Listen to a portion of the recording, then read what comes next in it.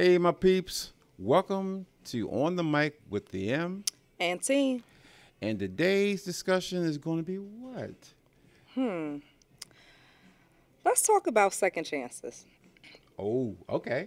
And more than second chances, how many chances? Okay. So, you know what I do for a living, naturally, right? I do hair. Uh huh. And I'm just that great friend who people call. So I always hear the conversation pieces um, as far as the back and forth with the male and female. And I'm just curious like, when is enough enough? And I'm sp- not specific to dating or marriage because to me, they kind of end up being almost like the same. Mm-hmm. Right? You've been mm-hmm. dating someone for 20 years or you've been married to him for 20 years. Mm-hmm. Either way, there's a lot of stuff going on in the relationship where it's like, at what point is enough enough? Well, for me, I, I think personally, when it starts to affect you personally, I mean, you're not just a little emotionally, you know, we could talk about, you know, he, she or he hurt my feelings, mm-hmm. or we we get don't get along that happens. That's relationships. You're always gonna have good times, bad times. But what you need to do is think about if this person is causing you so much angst that when you get up in the morning, you're like, "What's my purpose? Why, why am I here? Right? And, and, and, and why do I take this?"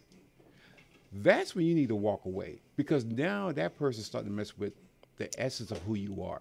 Okay, so what generally happens is we're gonna walk away, right? And mm-hmm. then we get the whole like baby, please, baby, please, baby, please, please, please. I'm gonna do everything oh, better. Lord. And I mean everything. Mm-hmm. Not just a little bit, everything. I swear I'll do it all right. Yes. Now you ain't got it right for the last I don't know how many years. Pick the relate pick the person and it'd be a different time stamp.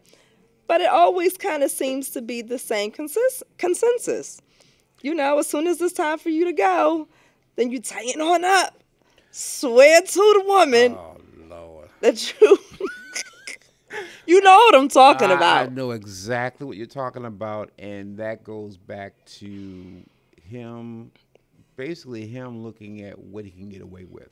Mm. Um, as men, we kind of we kind of start off saying it's wide open. We don't really know you, so no, you know, know these women. It's five years later.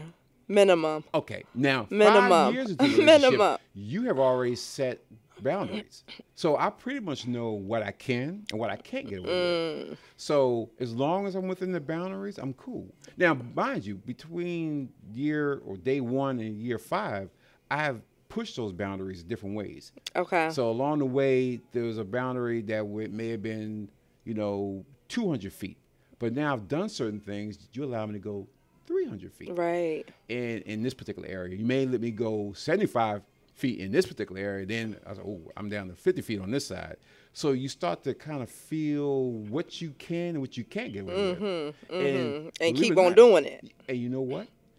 You allow women allow that to happen. Yes, yes. Because I would agree. again, you control the relationship. And I said this to someone a while ago. I said, ultimately, women control the relationship. How did they how did they receive that? Because I I don't know that women will receive that too well.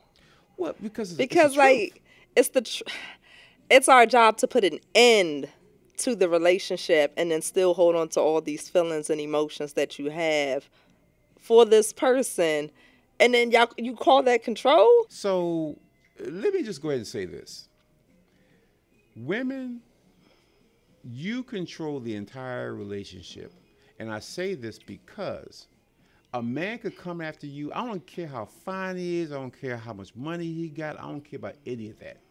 You had the final say if you accept that guy.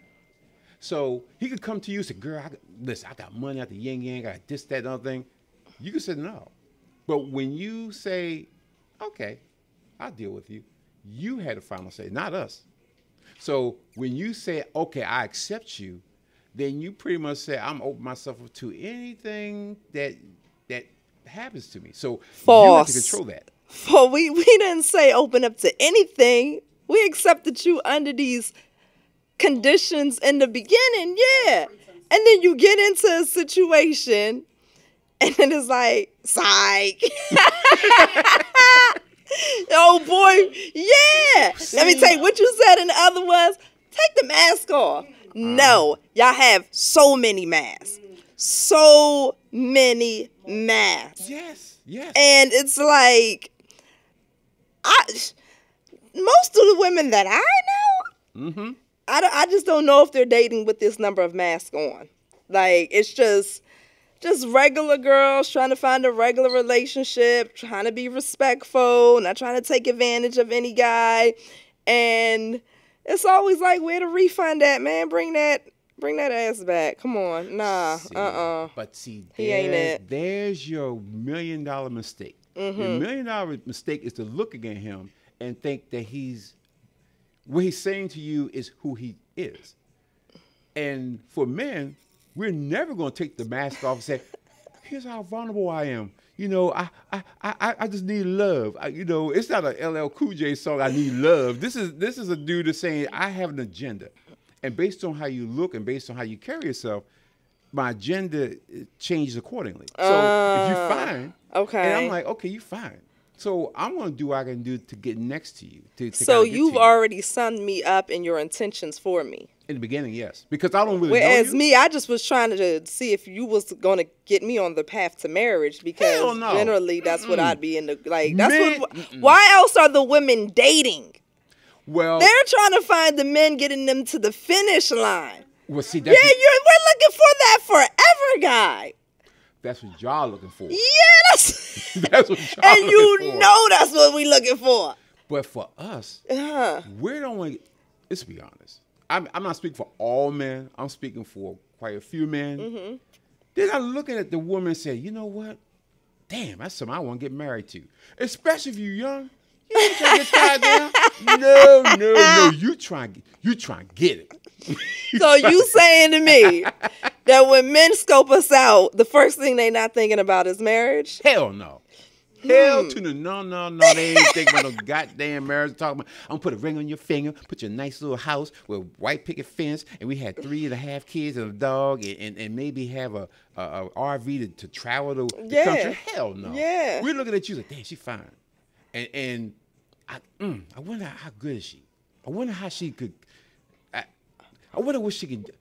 What what makes her special? I wonder if we're, we're thinking like we're Oh. thinking tangibles. We're not thinking about am I gonna walk down the aisle and what color scheme is going to be, what kind of ring you And y'all trying to grow stuff. old together type of thing. no, no, no. Uh, you don't. no. That y'all not ready to grow No, old. at twenty some years of age, uh, uh, uh, age, we're not thinking about marriage. We are At not, what age are we thinking about marriage in the dating realm? to be honest, for I'm gonna use this term, the level of manhood that the guy's in. Mm-hmm.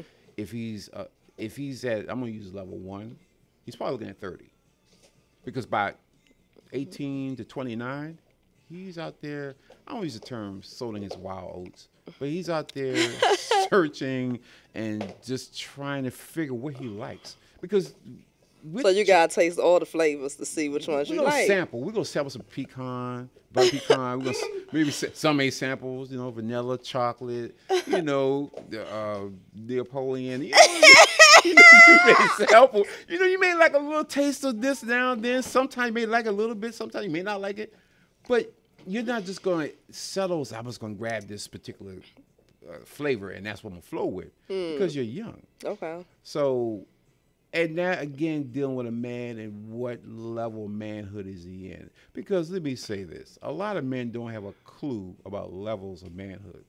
Don't have a clue. Mm-hmm. They think, "Oh, I'm 18 years old, I'm a man, and I can do this." Nah, fool. You you, still a boy. You still you still got something like in, on, on your breath. You you yeah. haven't you haven't. Especially today's eighteen year olds. Oh, they don't have a clue. They don't have a damn clue. So they don't know. They can't say that I'm looking for this type of woman who's gonna make me. Are they looking for women at eighteen nowadays? No. like, it's a little no, bit no, weird what's no. going on with the with the uh, youth as far as them courting each other. It's different. It's, it's, Mm-hmm. it's not like before. Before, you had to meet. It, it, the dating realm has changed drastically. I mean, before you had to meet someone, you could somebody may have set you up. You know, you may have aunt auntie that says, "Hey, I got a, a you niece." you mean young Yeah, before. Yeah. You Oh, know, it's, yeah. Oh, he's a good guy. He's a good kid. You know, I have a niece over here that, and it connects you. And you may or may not like each other, but they connect you because you're nice kids. Yes. And it may be something, may not. Y'all may be friends. But nowadays, a swipe left, swipe right. And Oh. then you, you know, you're looking at IG, you look at Uh-huh. everybody shaking all the real goodies. shallow. Yeah, because again, I'm going to say this.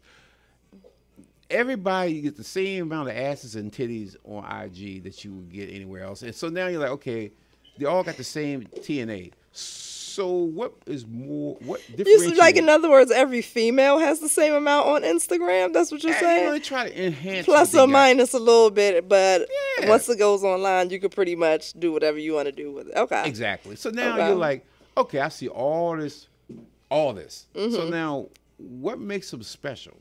Because again, let's see if all all of them cute, all of them look good, all of them, you know, say the same thing. They like fun, they like music, like Mm-hmm. this, like okay, that's fine. So why should what really makes you different than the other ten or the other hundred I'm looking at? So for the guy, he's gonna have to somehow just pick one because he can't say, well, yeah, her, you know, her booty is. is You is used big. to go out with them and hang out with them Oh, yeah. and get to know them, and the chemistry would tell you what which woman was. At least I thought used You to think it was to. the chemistry.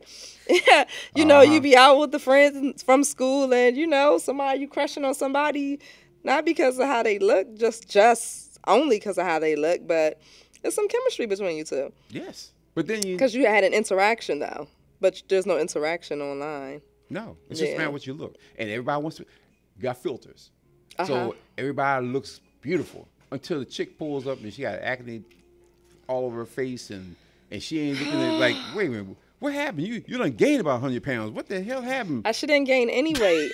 she just, you know, knew knew her angles. Oh, there was some damn good angles. Yeah. At that yeah. point, when you start looking at like you look at the look at the phone and you look at her like, You said take a pic. That speaks to the fact that there's a lack of a social interaction and getting to know people because then you have like this false idea. You see the one girl on Instagram and you don't get to know her, know her. So she presents herself as being the best in whatever category and arena she's playing in.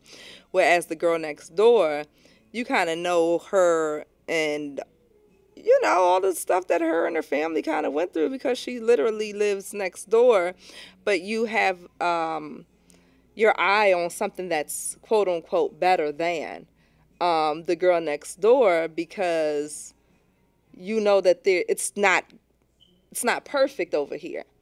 Um, and you keep seeing something that is perfection. I guess what Instagram create because we only put our best foot forward on social media. that's true. You never see a bad. Have you ever seen a bad IG f- photo? I, I've I've seen bad posts and people cry, but I'm sad that they put it on there. Mm-hmm. I'm like, please stop, Yeah, yeah. Please th- That's not the place to put that. sulk and cry. No. Don't talk about your family on so, so social media. Family No. pissed you off, and you're like, my family ain't shit. Huh? the whole family, cause I haven't seen you in 17 years, and now the whole family ain't worth nothing. yes. Wow. I'm sorry I have seen people get to their bad points, but you still don't want to really see it. You're hoping that they erase it at some point too. You would hope so. Yeah. Um, and, and I think as a society, we have gotten to this point. We kept we've been pushing this perfectness that doesn't exist. Um, and everybody wants Yeah. to feel like they're perfect. Everybody wants to feel like you know, if you see what you see on IG, that maybe they'll like me. But they don't. What they don't understand is that's just a front. That's a facade. Well, it's not necessarily a front or a facade. It's a it's an album of highlights, things that I chose to highlight. Mm-hmm. I wouldn't choose to highlight rough moments in my life. I overcame those, True. keeping it moving. I, I don't want to highlight those. So Very true. yeah, we had. Say it again. We as a culture glorify the struggle. We So do, if you show your bad times, you show your struggle. but I don't want to show. I don't want to be reminded of that all the time because that's what social media does for you. It reminds you of um, past events. And so there's certain things that you make sure you putting on social media because you know what's going to pop up next year. Like, oh no, I got to make sure I post this because it's going to pop up for me next year to keep me remembering stuff. Now, if I toss on there a traumatic breakup or, you know, a traumatic uh, situation in the family, and then, you know, I'm still trying to get through that or I'm healing from that, and a year later it pops back up, I'm like, here we go again. I was trying to get away from this. Yes, because social media does not go away. No, it doesn't. It's there. Once you post it, it's there forever. Yeah, and then somebody else might have shared it to somebody else, so now they have a copy of it, Mm-hmm. and then you know they'll send it to you in a year, even though it's not you know maybe on your page anymore. Exactly. still kind of comes right on back to you, like, hey, remember this? Or if it doesn't pop back up, somebody will randomly be going through all of your pictures, and they'll just start liking your stuff again, and it'll make you see it again, right? It, it becomes true. relevant. So somebody start liking your old posts, and then somebody else saw that, so they started liking them again, and then you're like, why is this picture recirculating? What is happening? It's social media. This stuff never goes away. Exactly. Mm-hmm. And you know, and that's the thing. That's the the curse of social media.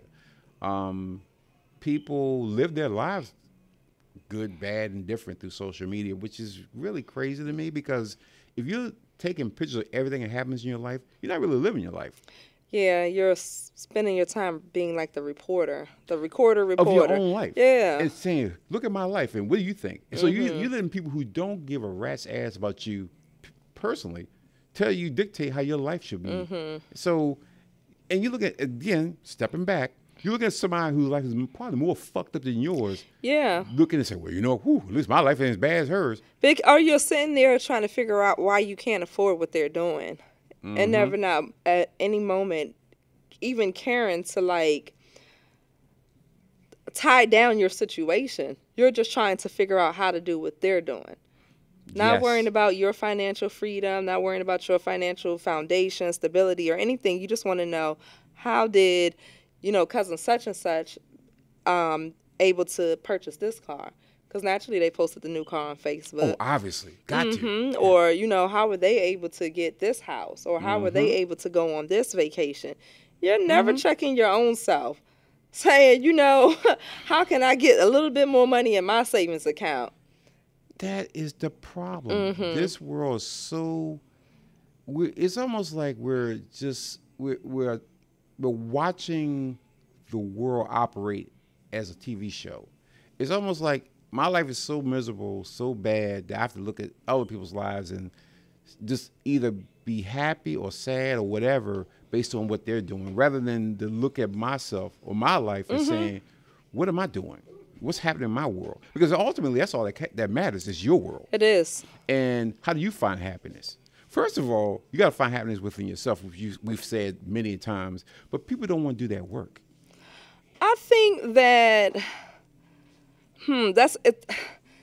To women, sometimes we don't like that phrase, right? Happiness is within. Because once Mm. I find my happiness within, then you come and rattle up my whole space. Talking Well, about well- happiness is within, and you told me you was gonna go half on this bill, and then the bill come around and you didn't go half on it. Now I'm mad, mad, and you talking about, but happiness is from within, bitch. I'll kill you. like so, yeah, happiness is within, but don't get like you know, don't get it twisted. People can Um, come in and kind of disturb your Yes. your core like and that that's not i'm happy within myself but i'll be damned if you didn't do something to me that disturbed me See, again, you looking at me as with a certain lens, and I'm looking at you a certain lens. And if you mm-hmm. if you both were sitting there and looked at how we both look at each other, you be sur- you'd be surprised how we look at women, mm-hmm. and we were surprised how you look at us because we were like, wait a minute, you putting all that on us? Like, you want to get married? You want to get settled down? You want to do that? most guys, most guys aren't looking at that. Just real talk. There's some guys out there that do look at that based on who they are and where they are. Um, but most guys ain't looking for that. Looking for a good time. Looking for who, you know, who are their influences well. who's it- teaching them the ropes here, here's the here's the bigger problem. The bigger issue is we the lack of male, good real male role models, is the problem we got with men being men today. okay Um, and I blame I, I could blame a whole lot of people, but it really starts with the two people who had the kid in the first place. Mm-hmm. Because that goes back to if it does work out, somebody needs to raise it. The male has to be in a relationship or be in that kid's life to at least show that kid what it looks like to have both sides of it. Men are so e- take that term back. Boys are so easy for them to walk away because to them, you know, that's responsibility. I ain't asked for this because since I'm not gonna get them goodies no more, and we got this Yeah. situation, I don't want to even deal with the What kid. is that about? Because you can't have access to the woman's body anymore. You don't owe her anything, but y'all have children. There's a there's a sense of property. Again, men, mm, boys. I, I Yeah, let's make that yeah, clear. Boys look at women as property. Boys look at the, if I can't get it and I can't do what I need to do or get what I normally get, then I she should be able to take care of the kid. I give a little money here and there, but Here and sh- there. here and there, But, the rent always do. oh, doesn't matter. And the f- grocery bill always ready. Don't matter. I can't get Kids them goodies. always hungry. Can't get them. Can't get them goodies. So you and, you're gonna find somebody else. Guarantee you're gonna find another dude. So let Mm-hmm. him be concerned with that. let, let him worry That's about. That's the favorite yes. phrase. Let him do Let that. him take care of the kids. Yeah, he over there. Huh? hmm He over there. Now, the boy don't understand that that's his child. Mm-hmm. That's part of him. Right. So if you deny him, you're denying yourself, which goes back to self-hate. Lack, lack of self-love, self-hate, not really knowing what that connection is, thinking it's just oh, you know, a kid, not realizing that's part of you. That's an That's an extension, extension. of you. Yeah, absolutely. So if you deny the kid, you deny yourself. Absolutely. Forget the woman. You denied yourself, whether it's a girl or, or a boy. And they can't they can't wrap their mind around it because that means if they did wrap their mind around it, then they gotta be responsible. Yeah, I think that a lot of times it's easy to say, um, let let somebody else take care of the child as opposed to saying, Hey, yeah, no, I no longer want to be a father to my own child. I'm gonna allow another man to adopt my kid and raise my Mm. child. Nobody can nobody's ever going to say those words out loud, put actual labels on them. Yes, I'm going to be a dirtbag person. Mm-hmm. Father, um, yes, I would like another man to allow my children to call them dad. Mm. Um, like when you say you, because those are the things you're actually saying. Yes. Yes, I would like to turn my back on my child, who you know, me and him used to actually be cool. I actually used to like this kid, and now all of a sudden, because you don't have the mom anymore, because you didn't do right by her, um, now you're like I'm not not playing with those kids no more. Nope. They still your children. They are still your kids. And that is the problem that we the reason we got the issues we got right now. Boys refuse to grow up and be men. They want to play that they want to use that term men when it's convenient. Yeah. Yeah, I'm a man because I'm, I'm a man. Any real man don't go around and tell people I'm a man. Yeah. I've Because never real heard men any of them say do handle their business. Real men just do it. Yeah. But when you hear boys talk about, oh, I'm a man, I got a gang of kids, and blah, blah, blah, first of all, you taking care of them. Mm-hmm. That's my first question. And when you hear people talk, well, I got four or five kids, are you taking care of them? Cause it's hard. Very hard. when you got more than three, I mean, it's very hard. I mean, the fact that you have three, I thought technically would be the max if they're active and have sports and Yeah, stuff. So what could you possibly be doing with four plus children? They're looking at the, everybody, the boys look at the money aspect of it. All oh, because you is send home money. the money. Yeah, I sent that money, and that money should deal with this. That's such a small part of it. It's a it's a good part of it, but a small part of it because you also got to be there for that kid's emotional Mm-hmm. well being. You have to properly influence your children. Yes. If Mm-hmm. you don't, society will, or that guy who's now raising will. You know who that guy is. Or no one will properly influence your child, and he'll probably be a man child. He'll stay a boy, Yes. hmm which we see today. We see it all the time. Next, year, you know, she he she he driving the girl's car. She going to work, baby boy. Um, he's not Huh. doing anything, and then when, when we get paid, or Yeah, I ain't and got then no you money. mad because the woman is mad that you're driving around in her vehicle in her car, you not even on insurance. while she's at work and you're picking up other women. But somehow when she says enough is enough, you mad. Yep. It's like that's the audacity. and that is the reason why we have to go back and make some changes on how we deal with raising kids as men. Mm-hmm. Real men know that we got to do what we need to do. And even tell real men how real men think. When my son was, since he's been around, and there's times when I'll be in the living room and I, at nighttime he sleep, wife sleep, and I'm looking out the window like, am I doing enough? Mm-hmm. You know, I'm, I'm busting my butt. I'm working, you know, 12 hour days and everything. Am I really, truly doing enough to take care of him? And let me tell you, my my my father-in-law, he passed. I miss that man, great man. And I asked him that question. He said, "Son, that's what men do. Men don't sit back and go bed and think like, oh, I've done all I can do and go bed and sleep very well. He said, you don't. Because as a man, you're always looking to make sure that you're taking care of your family at every turn, making sure that you're doing enough to take care of your family at every Yeah. turn. So when I was like, so it's not unusual that I'm up at two or three in the morning. You know, I go in there, see my wife in there sleep, she comfortably sleep. My son and he in there sleep. I go in there and kiss him on the head, like, you know, I'm just happy. I'm just hoping that I'm the role model that for you. I'm hoping I'm doing enough to, to say, hey, you're you're gonna learn how to be a man from me. Um, and those are those are constant things that, that I always told myself growing up, you know, with the family, with a young child, that am I doing enough? And I keep pushing myself.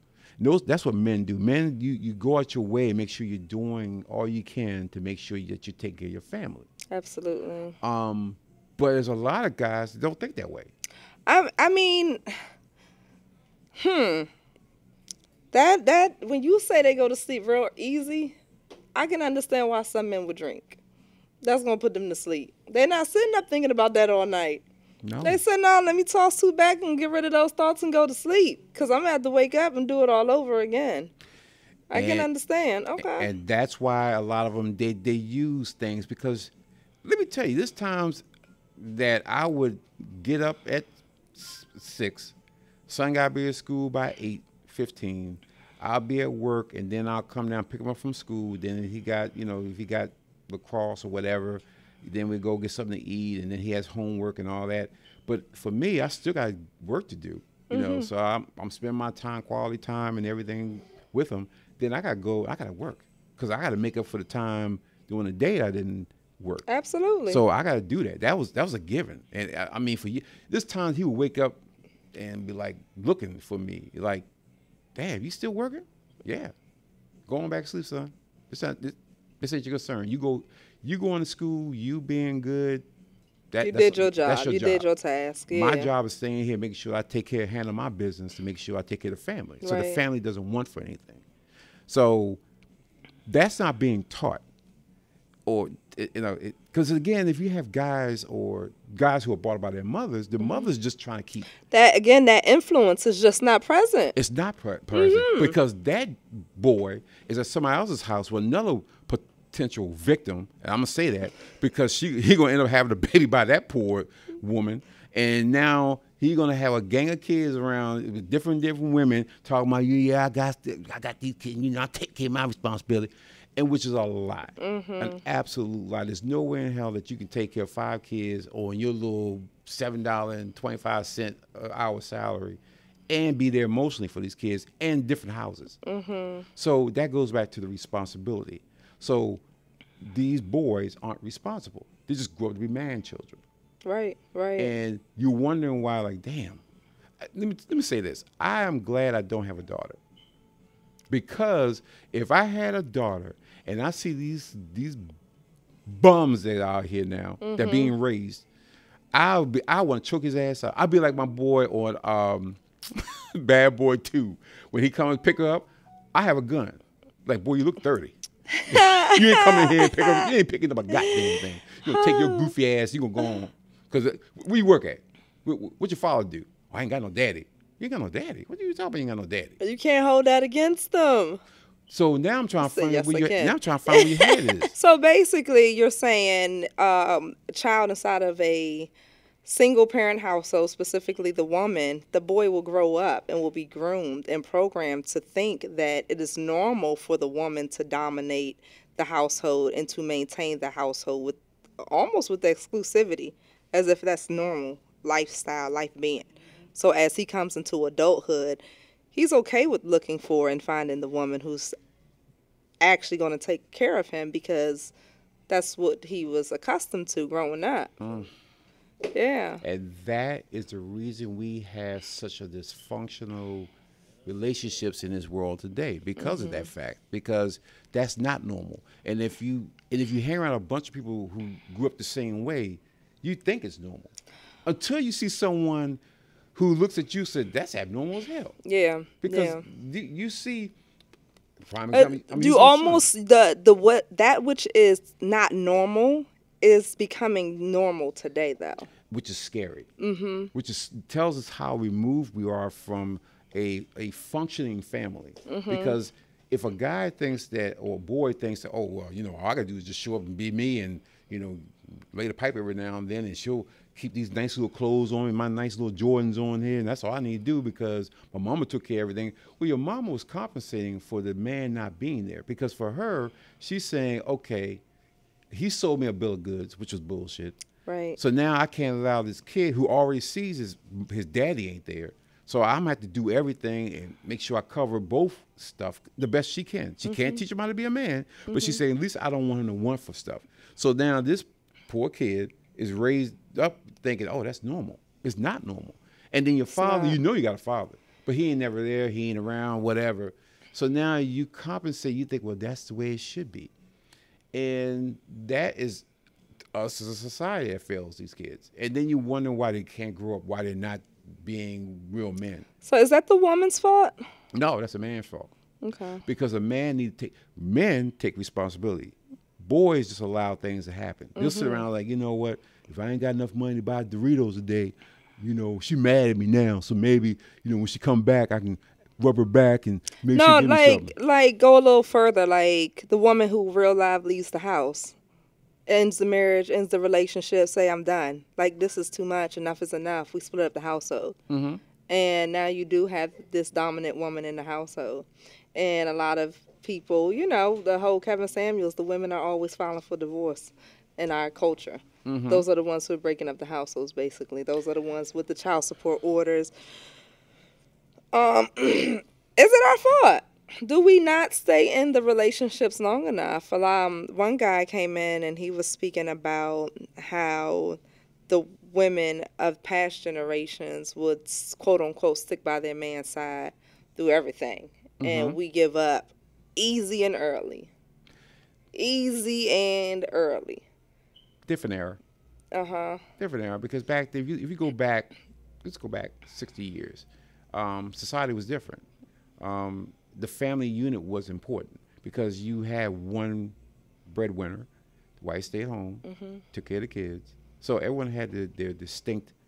The roles were more defined. Exactly, had The roles are now getting into a gray It's- area it's- because it's of the blurred. economy. It's all blurred because Mm-hmm. again, I don't know how the hell we went from sixty years ago. You can have one person working full time and Mm-hmm. take care of everything to two people who have multiple jobs and still can't keep things moving. Because Mm-hmm. That's that where we at today. That's yeah. where we are. Every today. household has two people working in it. and barely getting by. Mm-hmm. And you're wondering like, oh well, that ain't gonna affect anything. It affects, of course, it affects everything because if you don't have everybody in the house teaching these kids, how do kids learn? Mm-hmm. When the parents come home, you're gonna see them early in the morning when you get them up for school. Absolutely. And then they're going to work, and then you're gonna see the parents at nighttime when they get home from work, and those parents are tired as hell. Yeah. been working hard all day, Yeah, all week. all week. You got Yeah. homework, you got this, You, you, got, that. five days on, two days off, and then on your two days off, you tending to kids and buying groceries and um, doing laundry and tending to the household. And, you know, that's a lifestyle without sports and um, after school activities, so to Oh. speak. So if you even begin to factor in, you know, one kid having an activity that they're committed to, those two days and those little, you know, hours from 6 to 10 p.m. that you thought you had, you know, even that's shut down.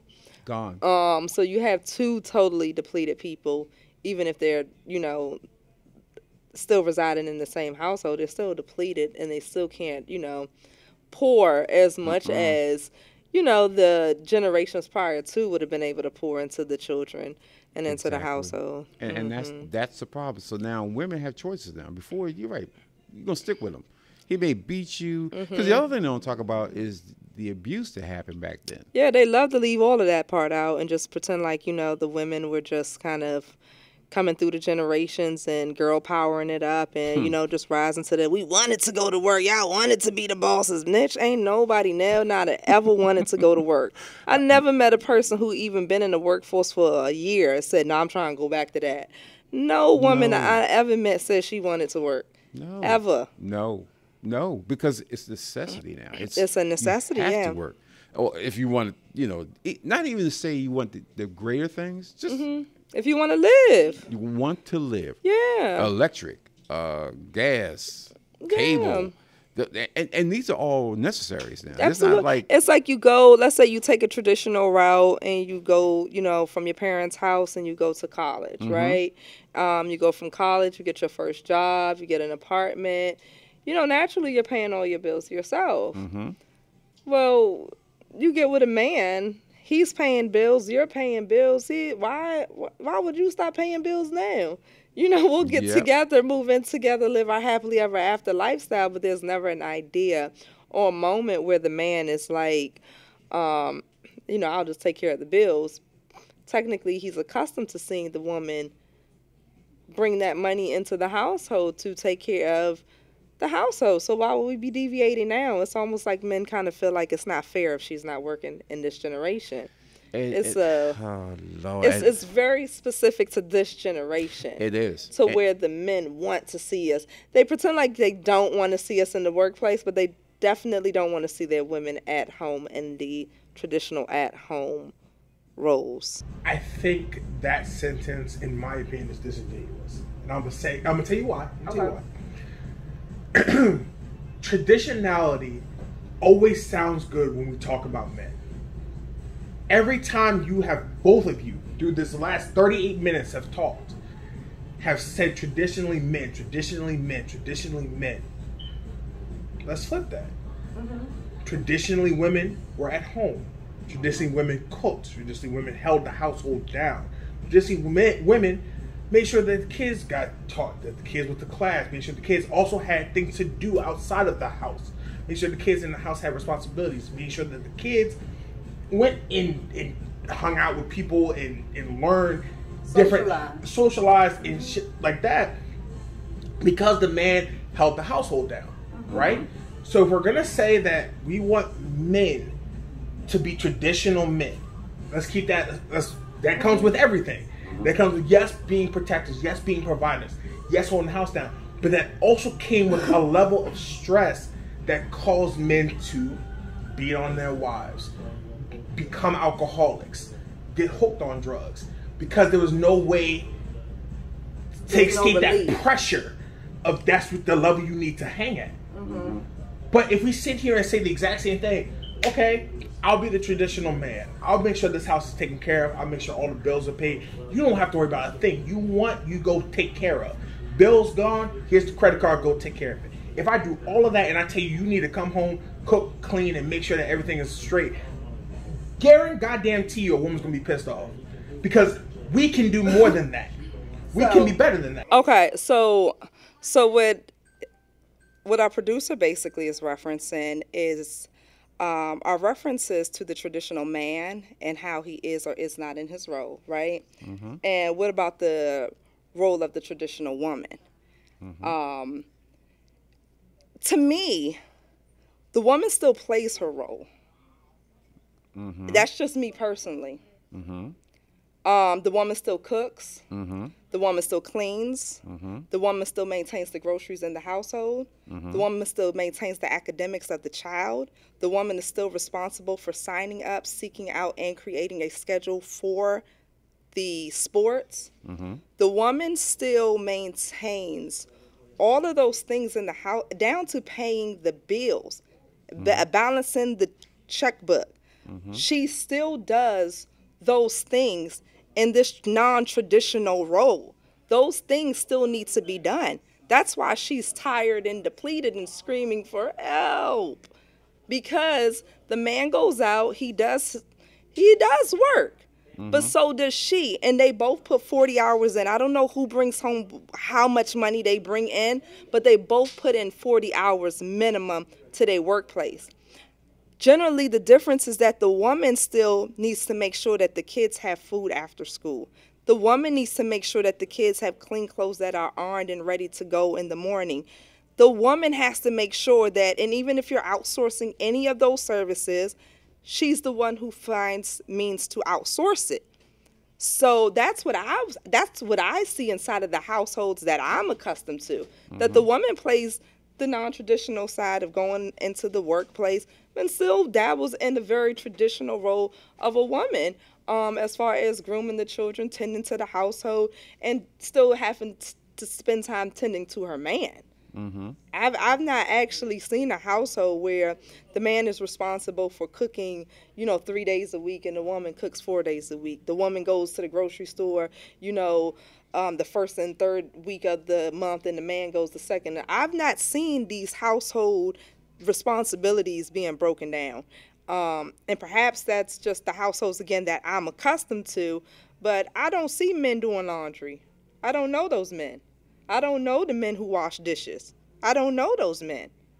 I just don't know the men who are vacuuming and scrubbing the toilets. I ain't never seen them. I do that. No, that's uh, maybe that's why that perspective came through. Yes. Because that's just not been. I can't even say I've lived that lifestyle. Like I, I go to work. I'm coming in the house and I'm going to cook at the end of my work day, and I'm going to also clean up at the end of my work day. And my work day can be quite extensive, and it doesn't matter if my spouse is out, you know, at the soccer field with the kids until 10 o'clock at night. I know I still had to come in the house, make sure dinner's together, make sure there's food in the house for lunch in the morning. Mm-hmm. Still a very traditional sense, but even though I went out into the workplace and spent minimum of the 40 hours for the week in the workplace. Yeah, and see, I think a lot of women today probably don't think that way. Uh, I think it just happens, you know, because if you're a single mom, you're gonna do it all anyway because it's, it's on you. Um, and I think that's why I go back to men have to kind of look and see. First of all, if you got kids, you should know off the bat you have to take care of your kids. You have to take care of your responsibility. So there's no her- house on it's your kid. So you gotta do what you gotta do. If you gotta go and pick the kid up, get your ass over and pick the kid up from practice and bring him to her house. If if if you know you you had she has been doing a weekday and you have on weekends and she's stuck at work, take the kid, go get some, you know, go to the, wherever, pick him up, give him something to eat, take him home You talking about when they're in two different households? two different households. So that's there has to be a working relationship between the two parents to make sure that you're covering for this baby. Mm-hmm. Not that oh she, she she should be able to do it. She should be all right. I mean, why I gotta go and pick him up? I'm on the other side of town. Doesn't matter. It's your kid. Would you want to leave your kid out there on a soccer field Yeah. at seven o'clock at night? And and well, shit, she should pick them up. He'd be all right. You- I mean, so it gets it gets weird when when the households get split. The things that you were willing to do for your kids when you were in the household may not necessarily be the things you're willing to do for your kids when. And when the question is, why is that? And, and again, that's I don't. I, don't I know recall advising people, you know, when they split, when they come to me speaking about how the ex-husband is acting. I, I recall telling a few people, you notice what that man would have did if he was still in the house, though. Sometimes they you we do things that we don't like, and because we're in separate homes, we react and give something different. And Mm-hmm. then sometimes we just kind of go all the way off the cuff. And I don't know. I don't know, but they're still your children. They still need providing um, Yes. and taking care of more than just a child support check. it's it that's the minimum. The check is the minimum. Of course, baby has to eat all that. We got that. You have to be there emotionally for this kid. Mm-hmm. You got to be there because you're not. If you're not there, somebody will be there, and that person who's there for that kid may not be the person you want that person, Oh, that no. particular person, Oh be no, for that kid. you and your feelings. Go ahead. yeah, you're all in your feelings. Some men feel like that other man that replaced him can take care of the kids. That's why they're doing the lease. And so those are, those are the boys. Yeah. Because those, if you're a boy, I'm saying this. Yeah. Oh, you wanted this. Yeah, You wanted another man to take care of these kids. This is what boys do. He got you now. See, mm-hmm. and again, That goes back to what you, they just let stuff happen. Yes, Boys gonna let boys stuff gonna happen. let it happen because oh, that's all for me. Yeah. I got less on me, so I can go. That, that's more time to play around. That's more time to do other stuff. That's, That's more time to. ultimately sometimes it does just kind of feel like you just throw your hands up in the air because it's more time to play. Yep. Like, damn, how much time you need to play in the field? I don't get it. How much time you want to play? And then we don't have time. We can't let our children go without because you want to play games. Yeah, no, they not missing soccer practice because I want to go out on a date on Wednesday. I love a good Wednesday little outing. But the kids had a little violin recital. N- Yes. No, you had to show up and, you know, and be there. and it- look like something too. That's the other part. Yeah, you can't just have your kid out there just ass out with with no no cleats or nothing. You're like, oh, Or that the cleats getting too small and you like, nah, I'm getting them next week. Now you need them today. today. And that's the other thing. It's like all of that is part of growing, raising this kid. There's times when money will come out from nowhere. You're gonna need money for books. You're gonna need money for cleats. You're gonna need money Mm-hmm. for trips. You're gonna need money. So you can't say, "Well, let me, let me, let me catch me two weeks from now when I get my, my or check." tomorrow. Or My tomorrow. favorites are good But tomorrow. I, I mean, oh, I got to run to the bank. You 2022? You been hit me with that cash app. You with that Zelle. There's too many about? avenues out here. Exactly. So again, it's just about ownership, owning and accountability is missing so much in this world because everybody wants to pass the buck. Mm-hmm. I think the biggest thing is nobody really just want to push it off rather than say, I you think that's a it. good. Uh, that's a good way to put it. Everybody wants to kind of pass the buck. Nobody wants to say, you know what, the buck stops. It stops here because at some point we have to correct the action. Yes. right? And I, I I just hate to put it on the men on the men, but like if you're supposed to be the the head, the the dominant, the lead, wouldn't wouldn't we have to start with you all? We're going to follow. We're going to follow. We're going to help. We're going to we're going to sit in our role. I don't I just don't know that we ever came out of our role. We're in protection mode. We're in warrior mode perhaps. But I think we still know our pos- now can all of the women cook nowadays i don't i don't know i, just i don't because i'm hearing you know do a little birdie out here that, that the women out here they just can't do what they're supposed to do in the kitchens oh, nowadays Oh yeah, I don't know where the hell that fell off, but eh, yeah, they they can't. They, they can still clean though at least i think they can still clean. Eh, some some are pretty much you know they spend most of their time in the damn you know uh, salons and, and you see them. No, don't don't put them off on my clientele. No, sir, not my ladies. No, sirree, you will not. No, my ladies do the cooking and the cleaning. Yes. Uh uh See, My girl, my divas can cook. Okay, Yeah. so and, and that and Yeah. that to me is is kind of the the issues we have. This is getting worse. It's not Mm-hmm. getting better, um, because it's it's going to sound bad. A lot of men are going from head of household to dependents on taxes. If you're looking at tax tax form, they're no longer Wow. a household. They're dependents, and that's where it shouldn't be. But also, everybody needs to be in the group and helping each other do what we do prime example when I said that I, you know, I'll clean the toilet, dump the trash, Mm-hmm. do all that stuff. I do it because it has to be done. Mm-hmm. I don't sit here and say, you know what, these dishes need to be washed. Fuck that, I ain't doing this shit. Wait till my wife get home clean Mm-hmm. this shit. Now I've been there all day long, and I don't watch. I walk by the dish many times, adding more dishes, because that, that ain't my that ain't my job. No, you do you do what you gotta do to keep to keep harmony, to keep synergy. Because when she come home from work, She you tired. got one look at a whole bunch of dishes that Mm-hmm. you walk by 35 times during the day at least, but you just kept adding on to it. yeah, you did because you was hungry all damn All day. goddamn day. It started off with seven dishes inside that sink, and you done added seven more. Now it's full. I come in the house, and you looking at me like, "Babe, what's for dinner?" Not a damn thing because the kitchen is dirty. Okay, how about that? How about that? Like what goddamn, what the hell? So again, it has to be a give and take thing, but Mm-hmm. that means a lot of guys have to look at that, stop looking at that shit backwards. Like, you know, I ain't gonna watch because men don't watch this, men don't do this. Nick, mm. motherfuckers, if you live by yourself, you had to wash your clothes, you had to wash your dishes, clean your toilet, yes. uh, I'm vacuum gonna your stop damn saying house. yes because if we live by ourselves, we had to pay our bills, and I don't want to say yes to that. yes, yes, you have to do all that shit. So let me tell you, my hey, hey, I'm gonna That's tell why you. we was trying to take all that up off y'all hands, you know. But y'all was like, yeah, but we, you still gotta go to work. You're like, huh?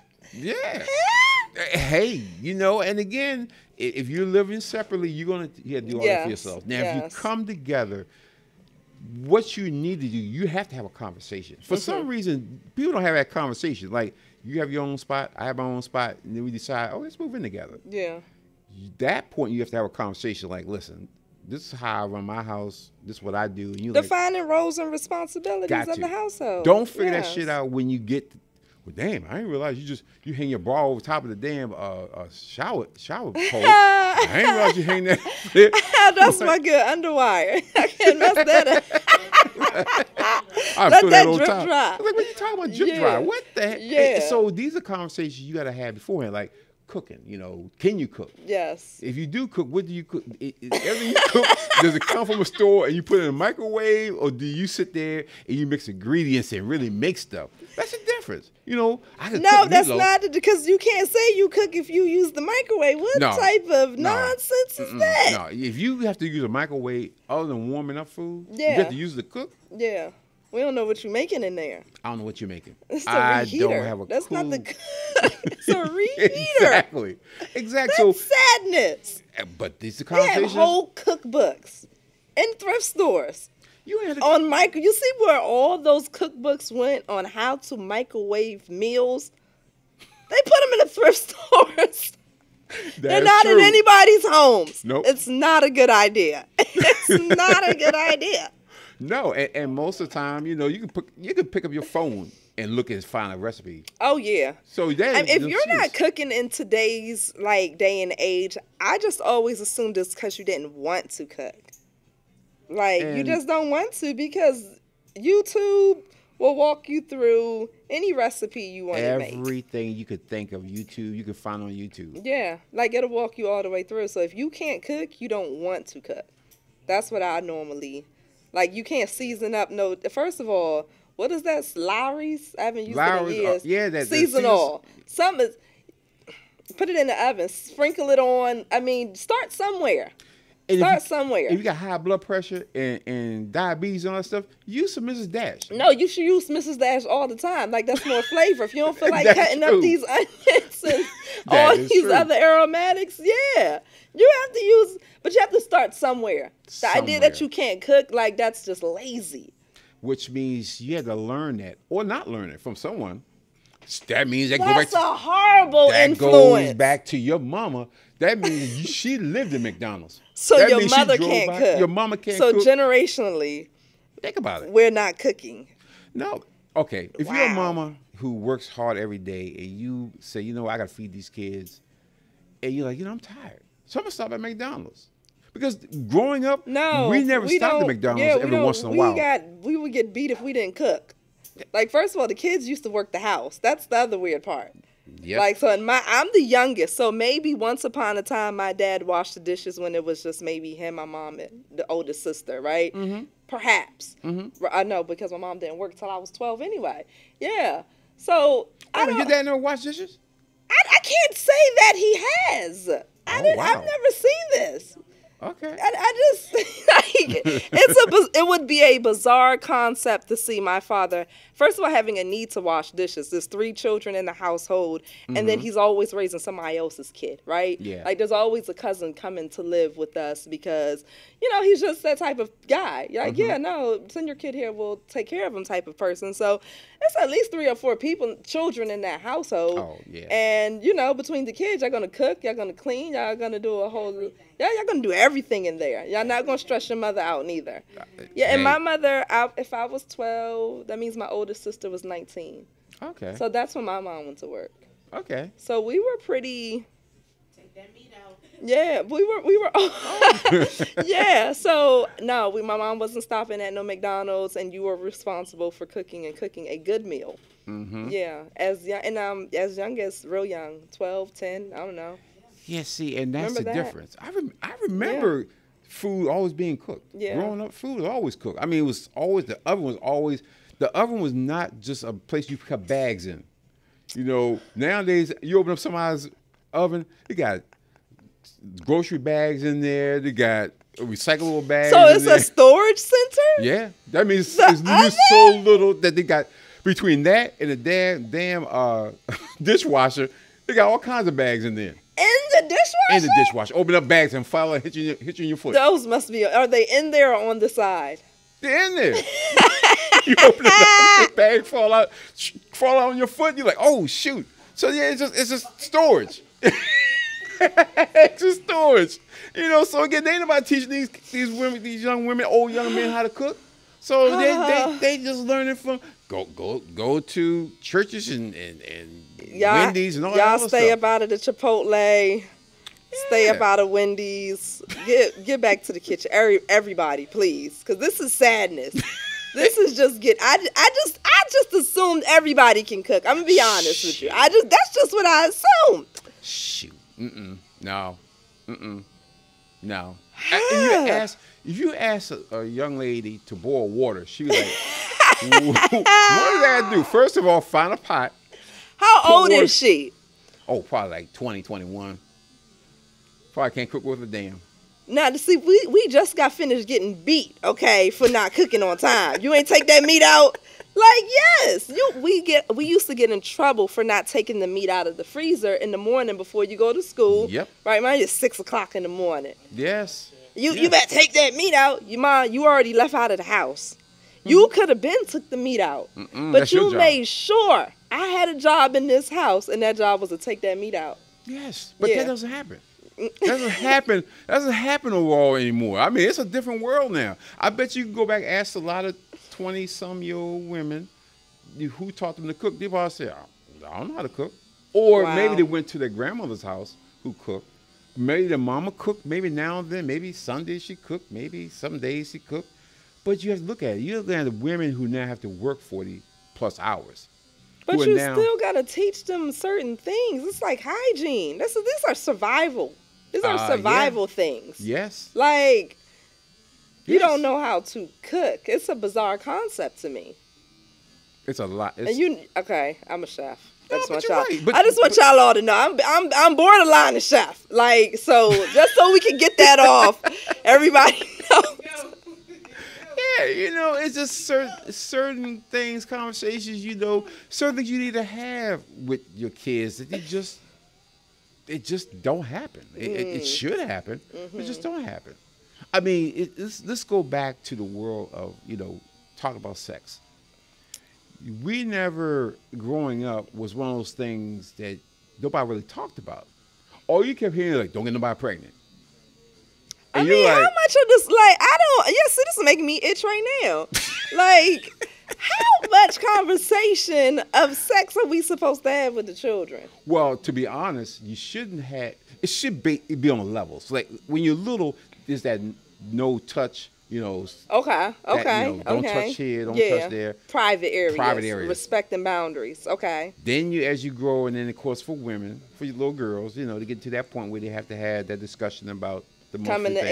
age of the menstrual cycle and stuff like. Okay. Exactly. And for boys, you know, you got to wash yourself, make sure you keep it clean down there so you don't end up with any infections and stuff like that. Mm-hmm. And then when you start to get that feeling, you say, okay, you're going to have that feeling, so we're going to have to have that discussion with you on what, that, what to do with that feeling.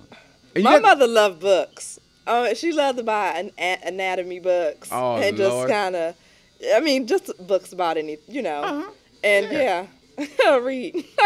Yeah, read, read this. Have, have a conversation. yeah. You know, and, and you know, it's uncomfortable for them to have a conversation. And for me, I'm like, you don't tell me, I'm going to go to the library. So I go in the library. yeah, grab grab like- a book. It's every yeah. Most of the things are in the book. Yeah, Yeah, you know, and, Mhm. and- but that means you have to take or that auntie, or aunt. Yeah. somebody. hopefully, it wasn't a cousin. I, I will hope. Oh my God! But these are the little things you don't think about. But then you know you start to say, you know, because kids, you know, nowadays they're smarter than when we was growing up because you have the internet, so you can find different things you want Yes. for. Back then, you know, people had conversations. You knew they ain't knew nothing about it. Knew. oh my God! He touched my hand. I'm gonna get pregnant tomorrow. What? what? he touched her hand. He touched my hand in a, in a lovely way, and he rubbed my hand like that. And of a I was sudden, the oh, kid on the playground telling people, nah, that, that can't happen. Nah, this is why. Yeah. I had Yes. a problem. Yeah. Because like- I had all the books.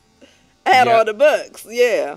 Then you gotta explain Yeah. Mm-hmm. to him, but then you don't want to bust him out in front of everybody. So you just kind of said, "Listen, what you said was dumb and wrong." No, I was, I was a know-it-all. I'm gonna bust it out in front of you. Yeah. Oh, no! So you saw she rolled her eyes. Yeah. no, you cannot get pregnant like. Yeah. No, I was probably a know-it-all. Oh Lord, see, see, so uh, see, so these are things that you know, and again, a mama having that kind of discussion with her son is un, to me be uncomfortable. Because again, you know, Yeah. like you know, you shouldn't be. Well, he know he see this girl. I he don't like want because technically you're like he ain't supposed to be having sex. No way. No, but Yeah. but you know, for boys, you know, one day you want to hit them. You know, you want to hit the girl. you know, that, that one, you know, fifth grade, you want to hit them and slap them a little bit, and you want to push them in the, in the dirt. Then sixth grade come, you don't want to hear this, but you don't want to hear it no more. For some You just reason, you like, touch her. I just want to touch her. I don't want. I mm-hmm. don't know why I want to touch you, but I want to touch you. Yeah. But you know, like, why I want to touch you? Then you go to your father. Hey, Dad, listen. So you know, Sue.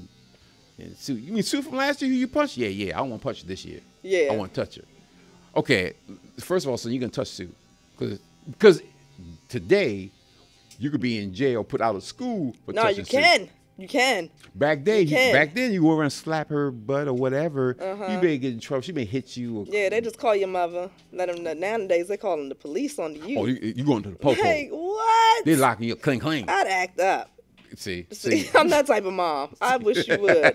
Yeah, what? first You of all, she probably threw her booty in his direction. And, and see, and see, that's the other thing. The other thing is you when you have a daughter who's a little more probably developed. Mm-hmm. Because back then, when they were twelve, they looked twelve. They looked like they had nothing. They were kids. They were twelve. Now Not twelve. Twelve was, was like I told y'all was a problem. see, see, twelve now you're like you're like, damn girl, you on a pole? You gonna go to that strip club? yeah. So you Yeah. gotta oh whoa whoa you got you gotta really have that discussion Mm-hmm. like you know make sure she's dressed a certain way. She's covered up. She don't act a certain way. Understand what the look is going to receive.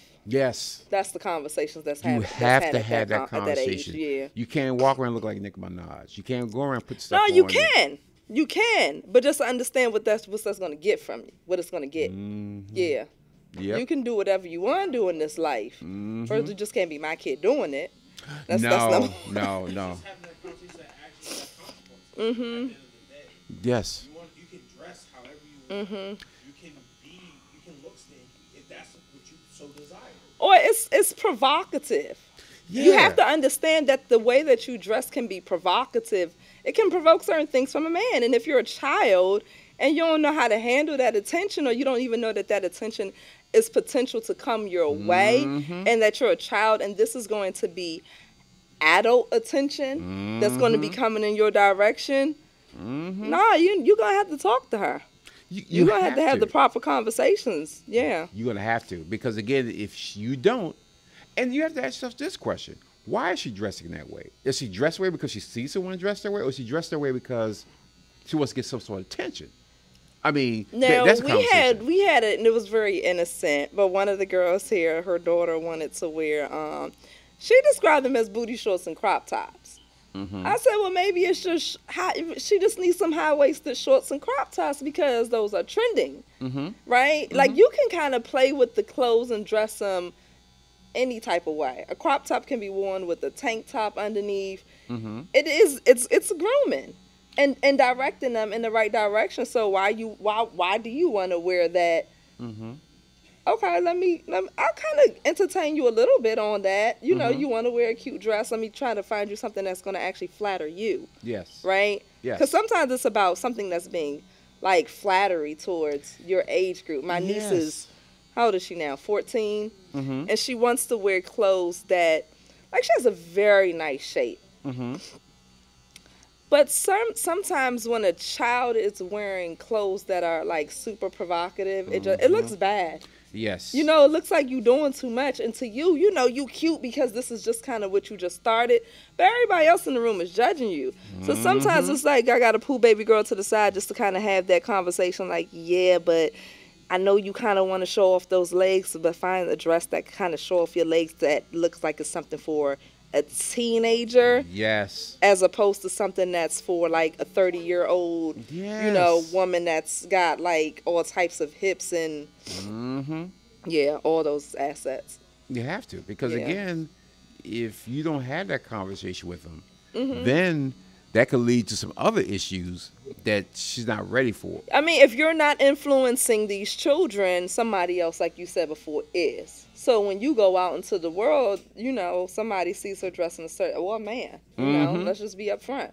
A man sees her dressed in a certain type of way he gonna start whispering in her ear influencing her making mm-hmm. her feel good. So now she starts to believe that you know the way i'm dressing here gets me a certain type of attention and if you don't know no better you could believe that that attention from the older man is proper Exactly. So Mm-hmm. you're going back to if you're not involved in this kid's development from the beginning, and this kid's just basically just wearing stuff just to wear things, an and, empty vessel and somebody else is filling that vessel. Yeah. So it's Yeah. important that you know men stay involved in their kids' lives, that they Absolutely. stay connected to those more kids. than monetarily No, you have to be there total. You Mm-hmm. have to be there because by denying that child, you're denying that child the love and the support that that kid deserves. Mm-hmm. He deserves she or he he or she deserves that respect.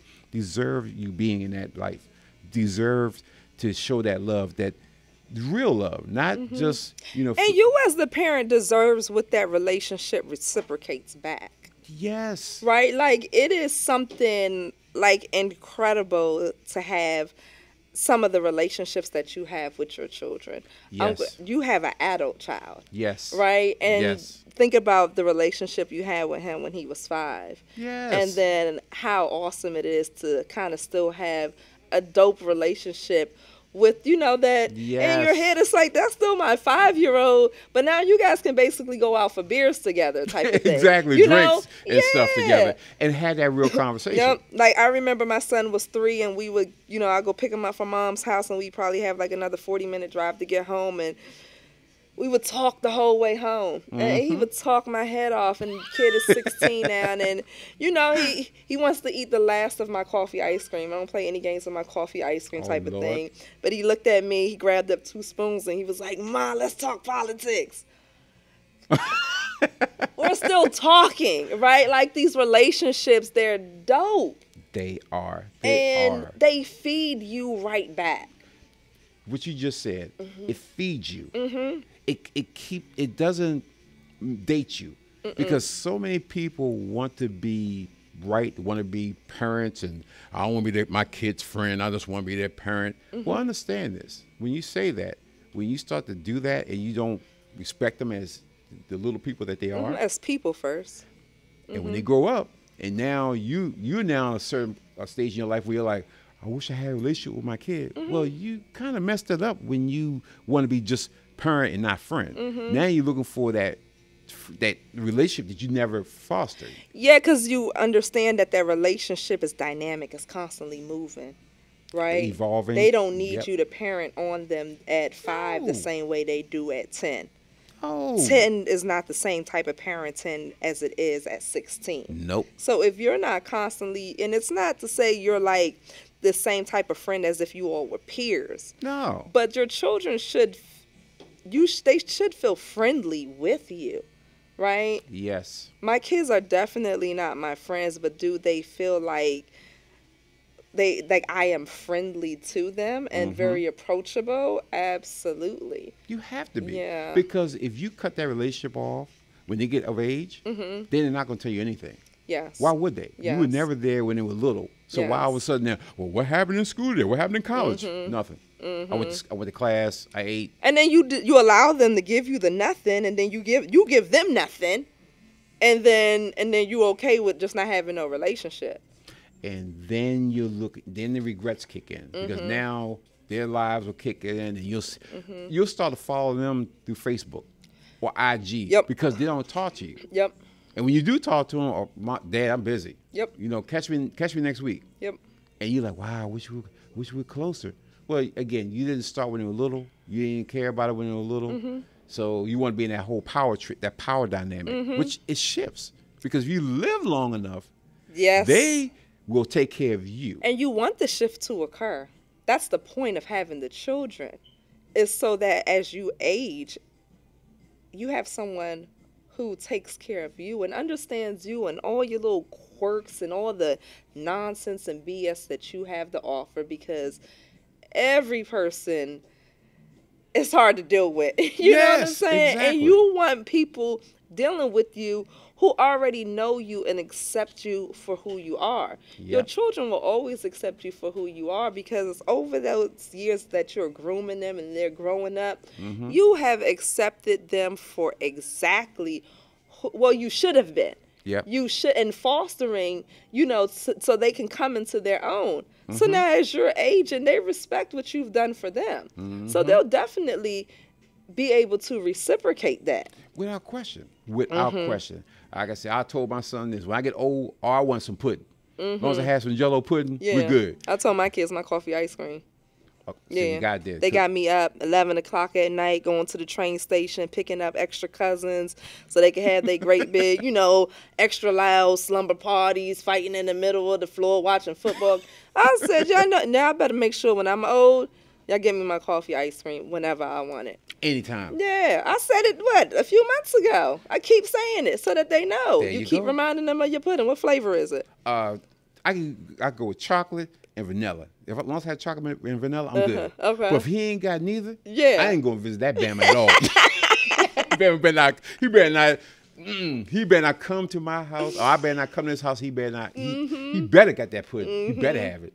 So you know. Mm-hmm. When so- I go see my grandmother, I do check up on her freezer. Yeah. What kind of ice cream you got in here, Grandma? Yeah. you got to because Yes. sometimes you know you gotta maybe look and take that top off. You got to there's take no- the top off. That's for sure. You gotta look and make sure there's no ice crystals in there. That's And it. the case, like, ah, she need another Yeah, one. I'm gonna do it this way. I'm Yeah. gonna go get her another That's one. That's it. That's so, right. You know that. So you know, we're basically telling y'all, fathers, be a part of your kids' life, and mothers. and and mothers, And mothers. be a part of their, their kids' life. properly into these children. Yes, Influence them properly. yes, right? You have because what we're seeing today are children who are not children anymore, who have been influenced Mm-hmm. poorly. very poorly. Um, the girls can't cook. I'm all devastated on camera. The girls can't. I had no clue. So y'all telling me everybody don't have adobo in their house? That's what you're Mm. trying to say? Y'all don't have a little medley of like seasoning in the refrigerator? Mm. Wow. I'm gonna have to get a cooking channel together. Hey, you might have to because Yeah. again, and, and brings we bring some young people here and just say, hey, can you cook anything? Wow. We gotta go out into the streets for that one. You're gonna have Let's to. just go out. Yeah, Survey the crowd, see who can and cannot cook. You'd be surprised. Man. And some of these these young ladies are about to go to college, Mm-hmm. where you know they're gonna have to do something, or they can eat ramen noodles for the next four years, and that's a terrible thought. That's rough. But you know, again, this That mess up your insides. totally, totally. But you know, again, uh, another important message for these ki- these people out here about the importance is the importance of being a good parent. Mm-hmm. Not a great parent, And just a good just parent. a good one. Yeah. You know, and it, it, goddamn, it, we ain't tell you go out there and, and read books and, and all that stuff. You know, you know what doing bad, you're doing bad as a parent. Nobody got to tell you that. It's pretty easy. You know if you're not doing right as a parent. Mm-hmm. or So, Oh, you're not doing enough. Yes. Yes. So do better. Do more. Do better. Do more. And with that, we're gonna wrap up this episode of you know on the mic with the M. And T. We will holler at you guys later on. Hit that like and subscribe button. Be back again very soon. Peace.